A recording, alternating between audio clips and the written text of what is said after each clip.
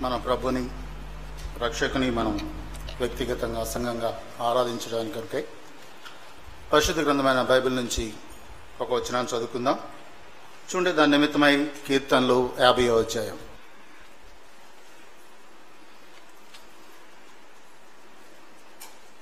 కీర్తనలు యాభై అధ్యాయం చివరి వచనం.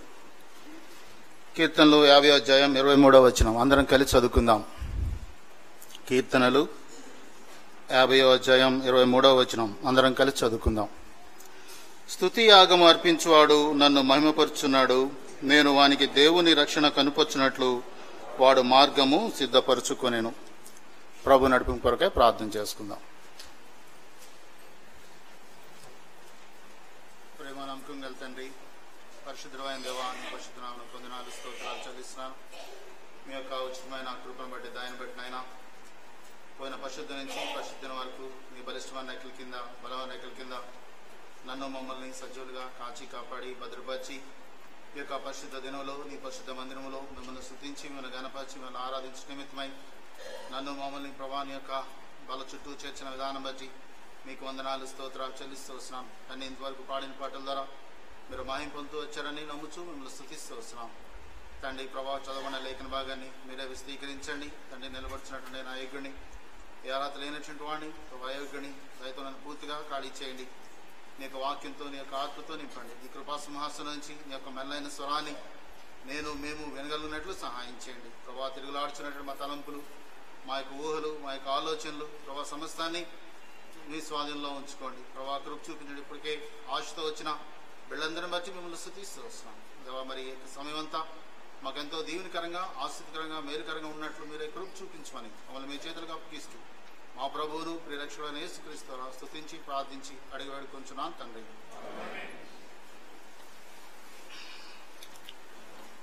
మనం చదవబడినటువంటి ఈ భాగం కీర్తనలు యాభై అధ్యాయం ఇరవై మూడవ వచనం.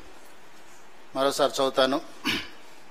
స్తుతి ఆగం అర్పించువాడు నన్ను మహిమపరుచున్నాడు. నేను వానికి దేవుని రక్షణ కనుకొచ్చినట్లు వాడు మార్గము సిద్ధపరచుకున్నాను. ఈ యొక్క చదవబడినటువంటి వచనంలో ఈ రాసినటువంటి కీర్తనాకారుడు ఒక విషయాన్ని మనకి స్పష్టం చేస్తున్నాడు. ఆయన్ని మనం ఏ విధంగా గణపరచగలం? లేదా ఆయన్ని ఏ విధంగా స్థుతించగలం అని అంటే మనం చదివినటువంటి భాగంలోనే ఉంది. ఏమనంటే స్థుతి ఆగము అర్పించడం ద్వారా లేదా ఆయనకి మనం స్తోత్రం చెల్లించడం ద్వారా ఒక విధంగా మనం ఆరాధన అర్పించగలం. ఇంగ్లీష్లో చూసినట్లయితే who ever offers praise and sacrifice glorifies me అని ఉంటుంది. సో ఒక్కొక్క వర్షంలో ప్రైజ్ అని ఉంటుంది ఒక్కొక్క వర్షంలో సాక్రిఫైస్ అనే ఉంటుంది. సరే ఎందుకు? ఎందుకని ఆయన్ని మనం మహింపరచాలి? ఎందుకు మనం ఆయన్ని గణపరచాలి అని అంటే యశా గ్రంథం నలభై మూడో అధ్యాయం ఏడో వచనం ప్రకారం ఆయన అక్కడ ఉంటుంది నా మహిమ నిమిత్తము నేను సృజించినటువంటి నా చెన్లు సో దేవుడు నిన్ను నన్ను సృష్టించడంలో గల ముఖ్యమైనటువంటి ఉద్దేశం. ఒక ఉద్దేశం ఉంది.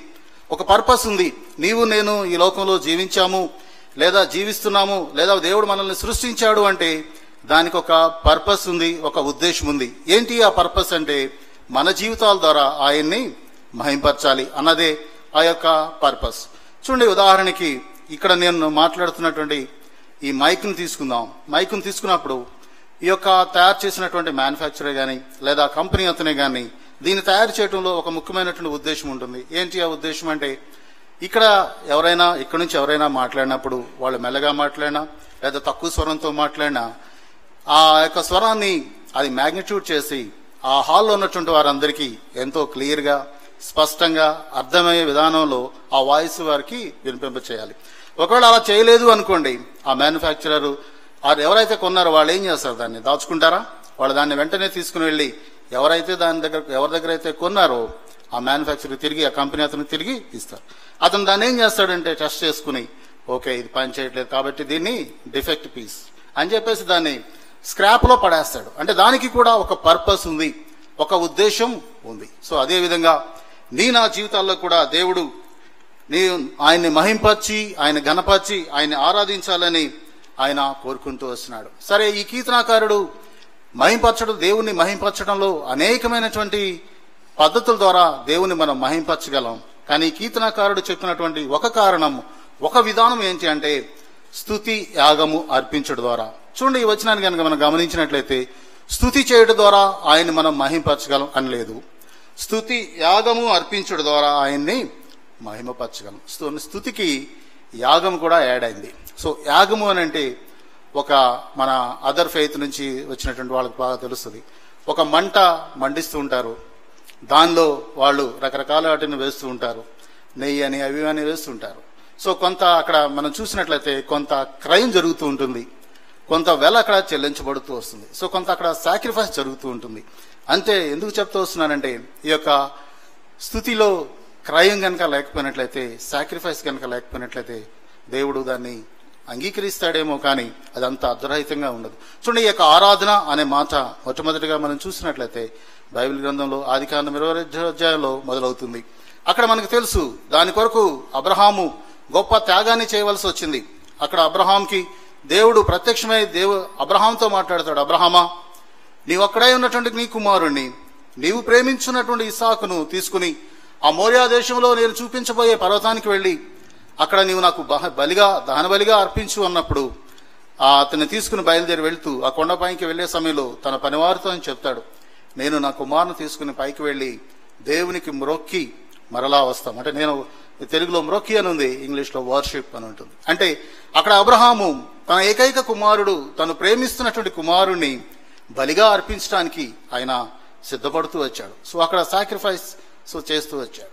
సో రెండవదిగా మన నూతన నిబంధనలు కనుక గమనించినట్లయితే తూర్పు దేశపు జ్ఞానులు వాళ్ళెంతో వేయి ప్రయాసాలకు వేయి ప్రయాసాలు వచ్చి ఎంతో దూరం ప్రయాణించి ఎంతో సిద్ధపరచుకుని ఆ బాలుడు ఏంటంటే దేవుణ్ణి చూచి వాళ్ళ చానంద భర్తులై సాగిలపడి ఆయన బంగారము సాంబ్రాణి బోళంతో ఆయన్ని ఆరాధించుట మనము గమనించగలం. సో ఎందుకని చెప్తూ వస్తున్నాండి ఈ ఉదయకాల సమయంలో కర్మేలు ప్రార్థన మందిరంలో చేరినటువంటి మనము ఆయన్ని ఆరాధించడానికి ఎటువంటి సాక్రిఫైస్తో వచ్చాం? ఎటువంటి సమర్పణతో వచ్చాం? ఏమి క్రయం చెల్లించి ఆయన్ని ఆరాధించడానికి మనం వచ్చినటువంటి వారు ఉంటాం. ఎందుకు అంటే దేవుడు మనల్ని సృష్టించడం మాత్రమే కాదు ఆయన మనల్ని ఆశీర్వదించాడు. ఆశీర్వదించడం మాత్రమే కాదు కానీ ఆయన ఈ యొక్క సమస్త లోకం మీద ఆయన మనకు అధికారాన్ని అనుగ్రహిస్తూ వచ్చాడు. అదే ఆదికాండం మొదటి అధ్యాయం ఇరవై ఎనిమిది ఇరవై తొమ్మిది వచ్చినాల్లో మనం అవి గమనించవచ్చు. అయితే దేవుడు మనకు అనుగ్రహించినటువంటి యొక్క ఆధిపత్యాన్ని ఆజ్ఞను అతిక్రమించడం ద్వారా దాన్ని మనం కోల్పోయినటువంటి వారుగా ఉంటాం. ఆజ్ఞ అతిక్రమించడం ద్వారా పాపాన్ని తెచ్చుకున్నటువంటి వారుగా ఉంటాం. అయితే కరుణగల దేవుడు కృపగల దేవుడు నిన్ను నన్ను అదే స్థితిలో వదిలిపెట్టలేదు కానీ ఆయన నీ కొరకు నా కొరకు గొప్ప కార్యాన్ని చేశాడు. చూడండి ఆ కార్యం ఏంటో? అపోస్రన్ పౌలు కొరింతి రాసిన పత్రిక. అపోస్రన్ పౌలు కొరింతి రాసిన మొదటి పత్రిక ఆరో అధ్యాయం ఇరవై వచనం. అపోస్రన్ పావులు కొరింతీలు రాసినటువంటి మొదటి పత్రిక. విలువ పెట్టి కొనబడిన వారు గనుక మీ దేహముతో దేవుని మహిమపరచుడి. చూడండి ఆయన మనల్ని సృజించాడు సృష్టించాడు తన సొంత చేతులతో సృజించినటువంటి దేవుడు. నిన్ను నన్ను ఆశీర్వదించాడు. నీకు నాకు ఈ లోకం మీద సమస్త మీద అధికారాన్ని అనుగ్రహిస్తూ వచ్చాడు.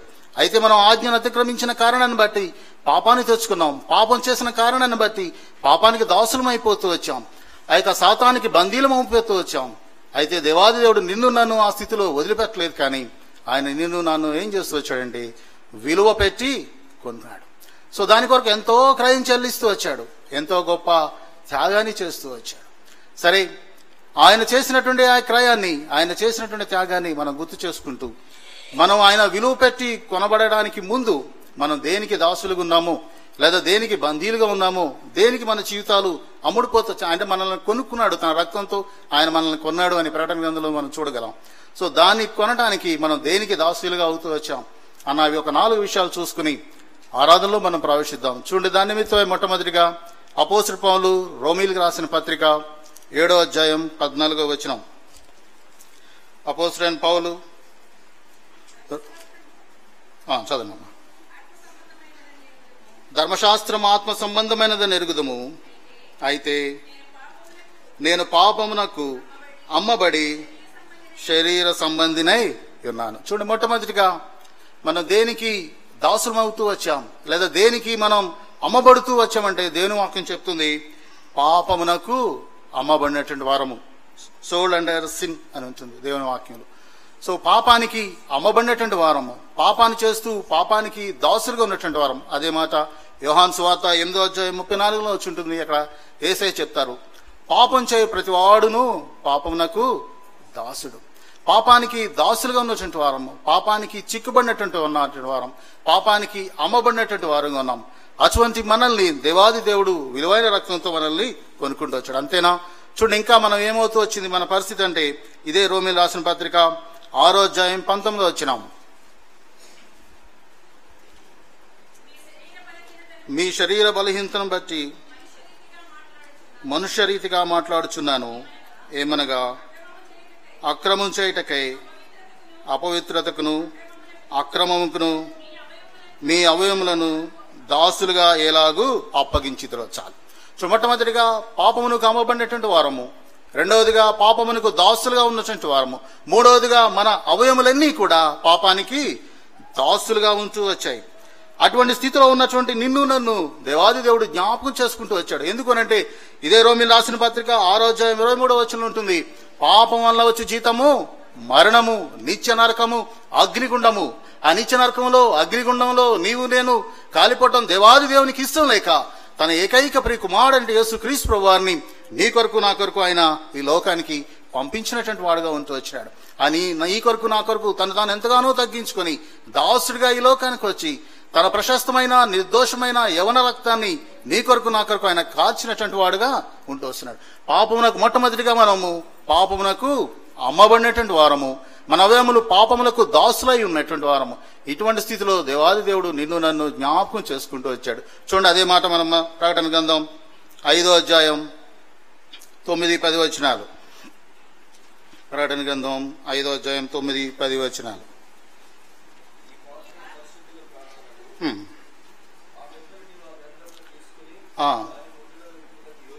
దాని ముద్రలు విప్పుటకు యోగ్యుడవు.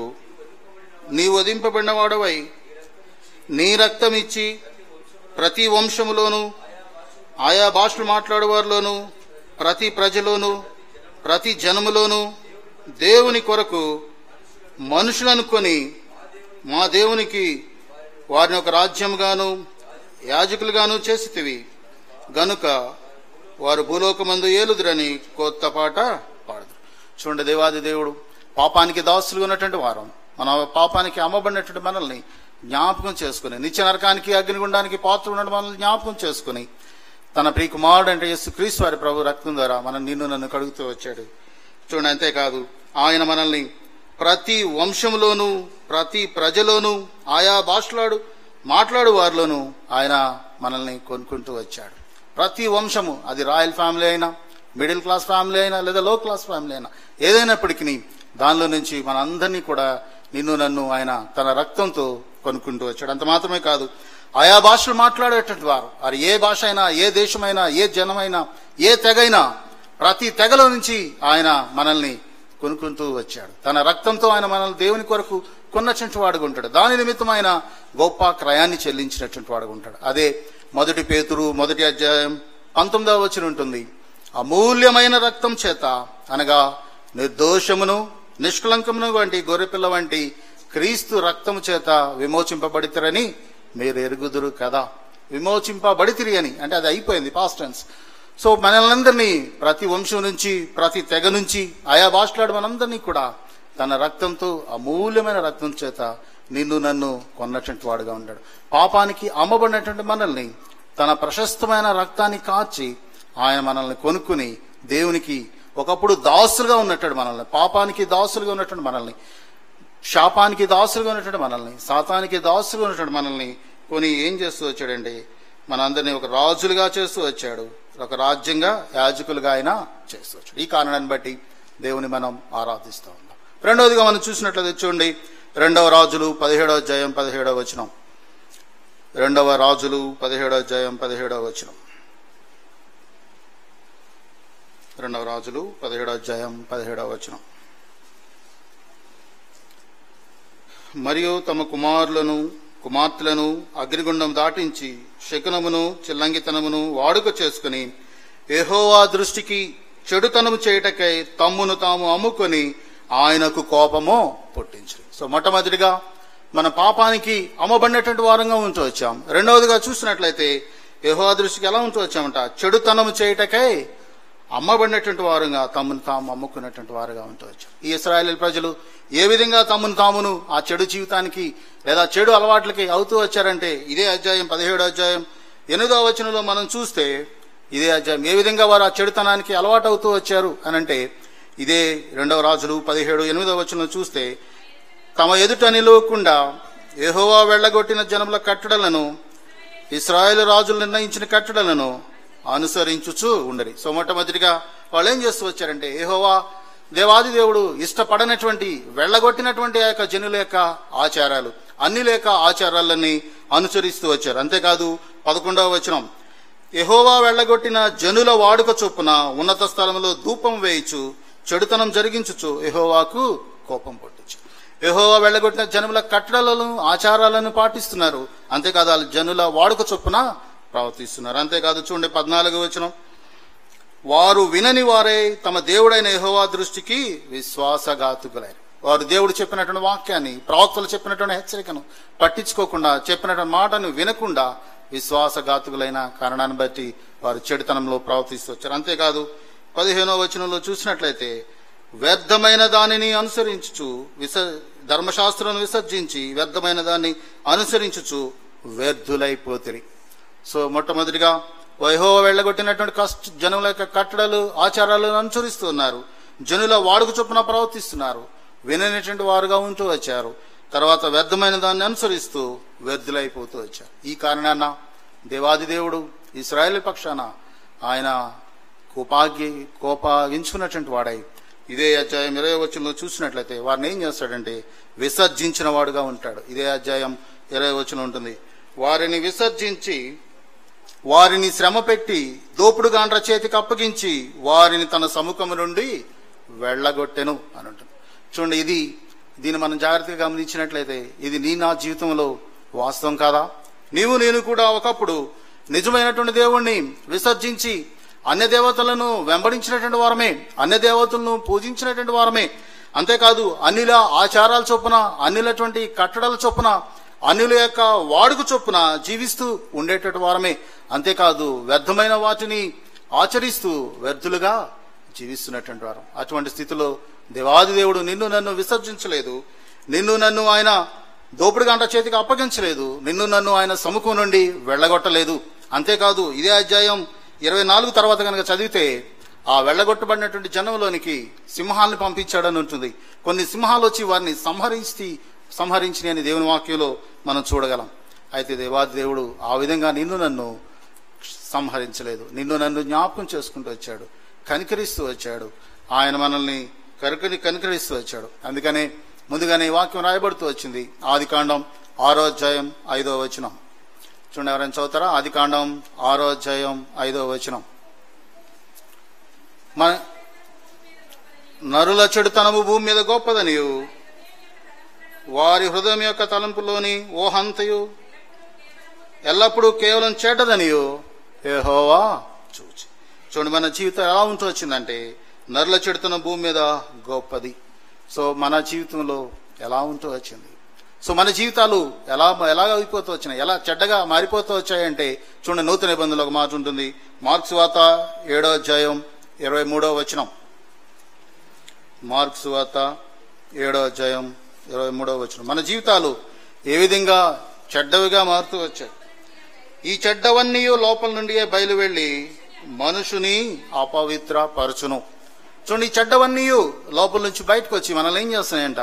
అపవిత్ర పరుస్తున్నాయి ఏ చెడ్డవన్నీ మనల్ని అపవిత్ర పరుస్తున్నాయి అని అంటే అదే పై వచనంలో పంతొమ్మిది నుంచి లేదా ఇరవై నుంచి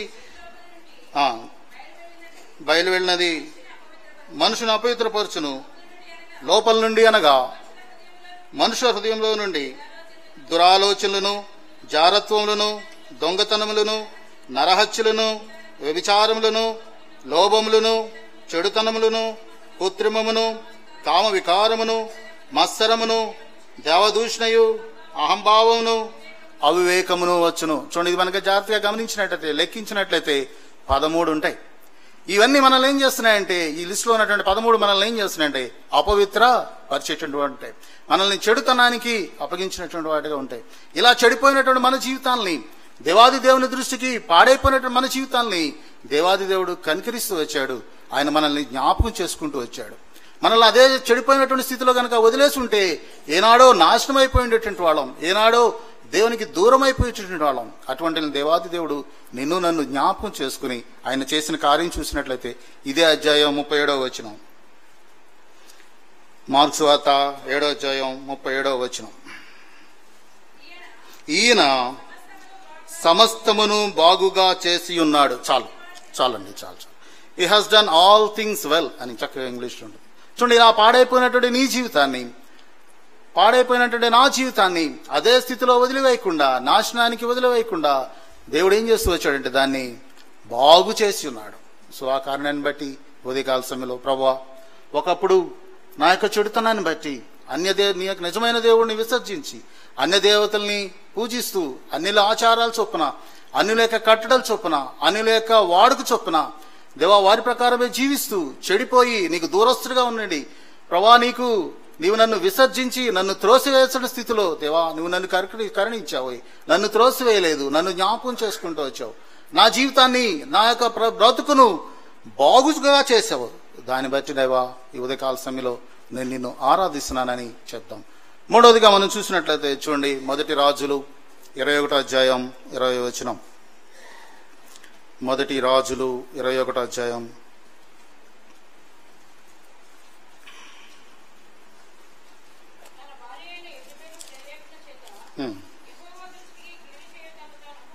యహోవా దృష్టికి కీడు చేయటకు నిన్ను నీవే అమ్ముకుని ఉన్నావు అహాబు వంటి వాడు ఎవడూ లేడు ఉమ్, ఆ, ఓకే యహోవా దృష్టికి కీడు చేయ తను తాను అమ్ముకుని నా ఆహాబు వంటి వాడు ఎవడునూ లేడు. మూడవదిగా మొట్టమొదటిగా మన పాపానికి అమ్మబడుతూ వచ్చాం. రెండవదిగా మన యొక్క చెడుతనానికి అమ్మబడుతూ వచ్చాం. మూడవదిగా చూసినట్లయితే ఈ యొక్క ఆహాబు ఏ పరిస్థితి ఏంటంటే కీడు చేయటానికి తను తాను అమ్ముకున్నటువంటి వాడు అంటూ వచ్చాడు అంటే తన తన ద్వారా ఇతరులకు ఎప్పుడూ కీడే తన తన ఎల్లప్పుడూ కూడా వారి గురించి కీడు చేయటం గురించే వారికి ఏ విధంగా హాని చేయాలి వారికి ఏ విధంగా ఇతరులకు నష్టం కలిగించాలి అని అదే ఆలోచనలో జీవిస్తున్నటువంటి వాడుగా ఉంటూ వచ్చాడు. సో ఆ విధమైనటువంటి ఆలోచనలు బట్టి ఇతరులు శాంతి సమాధానము నెమ్మది ఆనందం లేనటువంటి స్థితిలో ఉంటూ వచ్చాడు.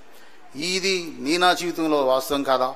నీవు నేను కూడా ఒకప్పుడు ఇతరుల విషయంలో ఏమాత్రం పట్టింపు లేనటువంటి వారుగా ఉంటూ వచ్చాం. ఇతర విషయంలో ఏమాత్రము వారి మంచి గురించి వారి యొక్క ఆలోచన గురించి మనం లేనటువంటి వారుగా ఉంటూ వారికి కీడు చేసేటువంటి వారుగా ఉంటూ వచ్చాం. ఎందుకనంటే చూడండి ఇర్మియా గ్రంథం ఇర్మియా గ్రంథంలో ఒక మాట ఉంటుంది. ఇర్మియా గ్రంథం పదమూడవ అధ్యాయం ఇరవై మూడవ వచనం. కూషు దేశస్థుడు తన చర్మమును మార్చుకొనగలడా చిరుతపులి తన మచ్చలను మార్చుకొనగలదా మార్చుకొనగలిగిన ఎడల కీడు చేయుటకు అలవాటు పడిన మీరును మేలు చేయ వల్లపడిన. చూడండి దేవుని వాక్యం చెప్తూ వస్తుంది. కూషు దేశస్థుడు ఇక్కడైతే కూషు దేశస్థుడు ఉంది ఇంగ్లీష్లో చూస్తే ఇథోఫియన్ అని ఉంటుంది సో వాడు తన చర్మాన్ని మార్చుకోనగలడా అంటే మార్చుకోలేడు. చిరుతపులి తన మచ్చల్ని మార్చుకోగలదంటే మార్చుకోలేదు. అలాగే కీడు చేయటానికి ఇతరులకు హాని చేయటానికి ఇతరులకు నష్టం చేయటానికి అలవాటు పడినట్టు నీవు నేను మన సొంతంగా మన సొంత ప్రయత్నాల్లో ఆ ప్రయత్నాన్ని మనం మానుకొనగలమా అంటే మానుకొనలేము మేలు చేయ వల్ల పడదు. అని దేవుని వాక్యం చెప్తూ వస్తుంది. చూడండి ఎల్లప్పుడూ కీడు చేసేటువంటి వారుగా ఉంటూ వచ్చాం. ఎల్లప్పుడూ నత్తలు ఇతరులకు నష్టం కలిగించేటువంటి వారుగా ఉన్నాం. ఎల్లప్పుడూ ఇతరులకి హాని మాత్రమే చేసేటువంటి వారు తద్వారా వారి జీవితంలో అశాంతి అసమాధానం నెమ్మది లేనిదానానికి మనం కారణం అవుతూ వచ్చాం. దేవుని వాక్యం చెప్తుంది వ్యవహాను పత్రిక మూడో అధ్యాయం పదకొండవ వచనంలో మేలు చేయువాడు దేవుని సంబంధం. సో మనం మేలు చేస్తున్నామంటే దేవుని దేవునికి దేనికి మనం సంబంధులము అంటే మేలు చేసేటువంటి వారా? దేవునికి సంబంధులు. మరి కీడు చేసేవారు దేవునికి ఎవరికి సంబంధులు అని అంటే సాతానికి సంబంధం అయితే దేవునైన దేవుని సంబంధులమైనా అయి ఉండాలి లేదా సాతానికి సంబంధులమైన అయి ఉండాలి. సో కీడు చేయడానికి అలవాటు పడినటువంటి నేను మీరు మనమందరము ఒకప్పుడు ఎవరు సంబంధులుగా ఉంచు వచ్చామంటే సాతాను సంబంధులుగా ఉంటూ వచ్చాం. అటువంటి స్థితిలో దేవాది దేవుడు నిన్ను నన్ను జ్ఞాపకం చేసుకుంటూ వచ్చాడు. తన ప్రి కుమారుని యొక్క మరణ భూస్థాపన పునరుద్ధానాల ద్వారా నిన్ను నన్ను మేలు చేసేటువంటి వారుగా ఇతరుల కొరకు ప్రార్థించేటువంటి వారుగా ఇతరుల యొక్క సహాయం చేసేటువంటి వారుగా చేస్తూ వచ్చాడు. యోగు గ్రంథం పదిహేనో అధ్యాయంలో ఒక మాట ఉంటుంది. హేడును దుష్క్రియుడును నీళ్ళు త్రాగునట్లు దుష్క్రియలు చేయవాడు మరి దుర్నీచుడు కాదా అని ఉంటుంది. చూడండి ఒకసారి చదవండి. యోగు గ్రంథం పదిహేనో అధ్యాయం మన జీవితం ఎలా ఉంటూ వచ్చింది అంటే యోగు గ్రంథం పదిహేనో అధ్యాయం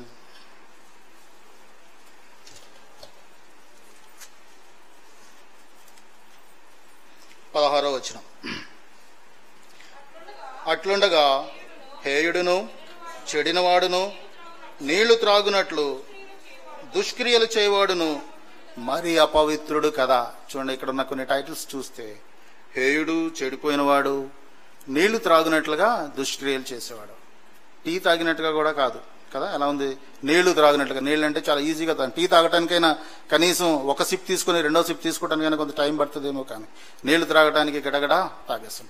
అంటే ఆ విధంగా దుష్క్రియలు చేస్తూ ఇతరులకు నష్టం కలిగించేటువంటి నిన్ను నన్ను దేవాది దేవుడు జ్ఞాపకం చేసుకుంటూ వచ్చాడు.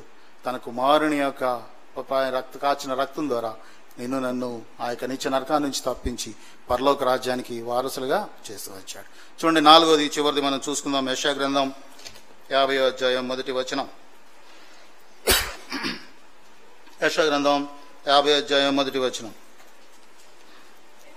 యహోవా ఇలాగు సెలవిచ్చున్నాడు నేను మీ తల్లిని విడనాడిన పరిత్యాగ పత్రిక ఎక్కడున్నది? నా అప్పుల వారిలో ఎవనికి మిమ్మను అమ్మివేసి తిని మీ దోషములను బట్టి మీరు అమ్మబడితిరి. మీ అతిక్రమలను బట్టి మీ తల్లి పరిత్యాగము చేయబడిన. సో నాలుగోదిగా మనం దేనికి మనం అమ్మబడితిమి అని అంటే దేనికి అమ్మబడితిమంట? దోషములను బట్టి మీరు అమ్మబడితిరి. దోషములు లేదా అపరాధములు. ఈ యొక్క పాపాలకి ఈ యొక్క దోషాలకి అపరాధాలకి అమ్మివేయబడుతూ వచ్చాం. ఈ దోషాలకి అపరాధాలకి అమ్మివేయబడిన కారణాన్ని బట్టి మనకు కలిగింది ఏది అని అంటే చూడండి ఎఫ్ఎస్సి రాసిన పత్రిక రెండో అధ్యాయం మొదటి రెండో వచనాలు. ఈ యొక్క దోషాలకు అపరాధాలకు అమ్మబడుట ద్వారా మనకు వచ్చినటువంటి లాభం ఏదైనా ఉంది అని అంటే చూడండి అపరాధముల చేతను పాపముల చేతను సచ్చిన వారై ఉండగా ఆయన మిమ్మును క్రీస్తుతో కూడా బ్రతికించను. చూడండి పాపముల చేత అపరాధముల చేత ఏమైపోతూ వచ్చంటే మొట్టమొదటిగా మనము సచ్చిన వారమై అవుతూ వచ్చాం. రెండవదిగా ఆ మధ్యలో ఉంటుంది వాయుమండల సంబంధి ఆ యొక్క వాయుమండల సంబంధిని మనం ఏం చేస్తున్నామంట? అనుసరిస్తూ వచ్చాం. మూడవదిగా మనం చూసినట్లయితే శరీరం యొక్కయు మనసు యొక్కయు కోరికలు నెరవేర్చుకుంటున్నాం. ఈ మూడు చేసిన కారణాన్ని బట్టి మనకు వచ్చినది ఏంటి అంటే రెండో అధ్యాయం చివరిలో ఉంటుంది దైవోగ్రతకు పాత్రులమైపోతూ వచ్చాం. సో పాపం చేత అపరాధములు చేసిన కారణాన్ని బట్టి అమ్ముడుపోయిన కారణాన్ని బట్టి మనకు వచ్చింది ఏంటంటే చచ్చిపోయాం సచి చచ్చినటువంటి వారుగా ఉంచు వచ్చాము. రెండవది వాయుమండల సంబంధిని అనుసరిస్తూ వచ్చాం. మూడవదిగా శరీరం యొక్క మనసు యొక్క కోరికలను నెరవేర్చుకొని ఇష్టానుసారంగా జీవిస్తూ వచ్చాం. దాని కారణాన్ని బట్టి మనకు వచ్చిన ఫలితం ఏంటి అంటే దేవుని యొక్క ఉగ్రత మన మీద పడాల్సింది. అయితే దేవాది దేవుడు నిన్ను నన్ను కరిక కరుణిస్తూ వచ్చాడు.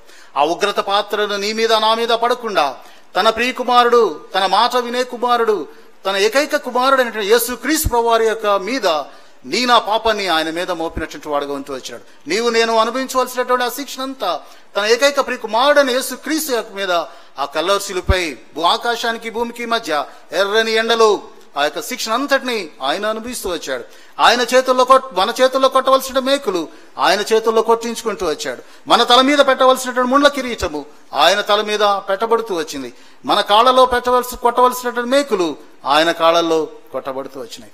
ఈ ఉగ్రత అంతా మనము అనుభవించాలి నేను అనుభవించాలి కానీ ఆ యొక్క ప్రేమ గల దేవుడు జాలిగల దేవుడు నిన్ను నన్ను కరుణించి ఆ ఉగ్రత మనం ఏదేసినట్లయితే మనం ఎప్పుడో నాశనం అయిపోయేటటువంటి వారం. మనం నాశనం అయిపోవటం లేదా మనం ఆయనకి దూరం అయిపోవటం దేవాది దేవునికి ఇష్టం లేదు కనుక తన సొంత కుమారుని పంపించి మన మీద ఉండవలసినటువంటి ఆ ఉగ్రత పాత్రను ఆయన మీద వేసి మనకు రావాల్సినటువంటి శిక్షను ఆయన అనుభవించేటట్లుగా చేస్తూ వచ్చాడు. చూడండి అదే మాట ఉంటుంది కొలసలు రాసిన పత్రిక అపోస్టన్ పౌలు కొలసలు రాసిన పత్రిక రెండో అధ్యాయం పదమూడు పదిహేను వచ్చినాడు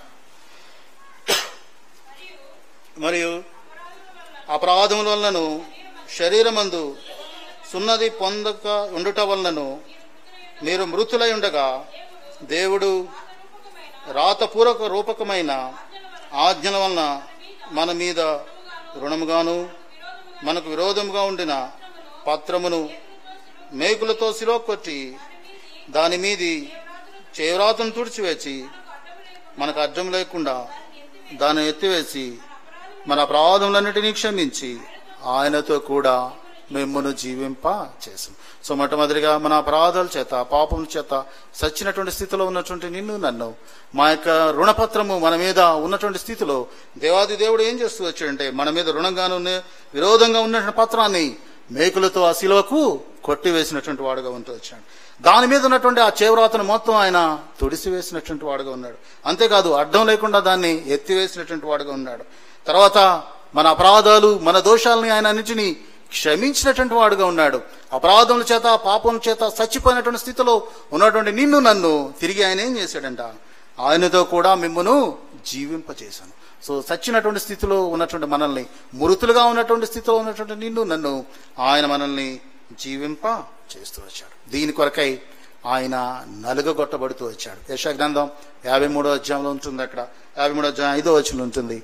మన ప్రవాదాల యాభై మూడో అధ్యాయం ఐదో వచనం. మన అతిక్రమ క్రియలను బట్టి అతడు గాయపరచబడను.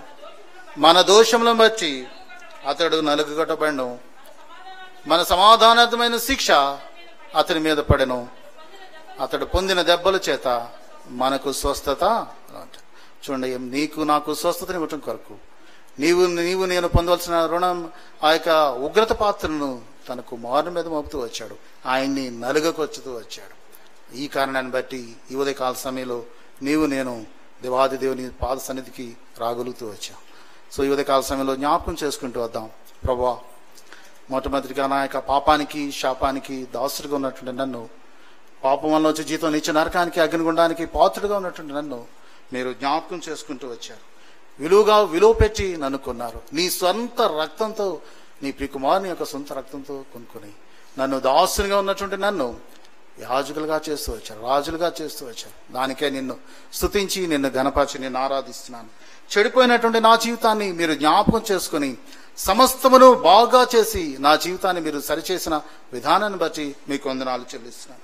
కిడి చేయడానికి అలవాటు పడినటువంటి నా జీవితాన్ని మీరు మార్చి ప్రభా ఇతరులకు మేలుకొలకు ఆలోచించేటువంటి వారిగా చేయడానికి మీరు చేసిన విధానాన్ని బట్టి ఆ బలియాదానాన్ని బట్టి మిమ్మల్ని ఘనపరుస్తున్నాను. ప్రభా పాపం చేత అపరాధాల చేత దోషాల చేత సచ్చిన స్థితిలో ఉన్నటువంటి నన్ను ప్రభా నా రుణపత్రాన్ని మే శిలువపై మీరు క్రొచ్చివేసి అడ్డుగా ఉన్నటువంటి దాన్ని తొలగించి ఆ చివరాతను తుడిసివేసి సచ్చిన స్థితిలో ఉన్నటువంటి నన్ను నా ప్రాధాలు క్షమించి నన్ను తిరిగి జీవింపజేసిన విధానాన్ని బట్టి నిన్ను స్తుతించినాను. ఆ విధంగా చెప్పడానికి ప్రభు మనకు సహాయం చేయండి.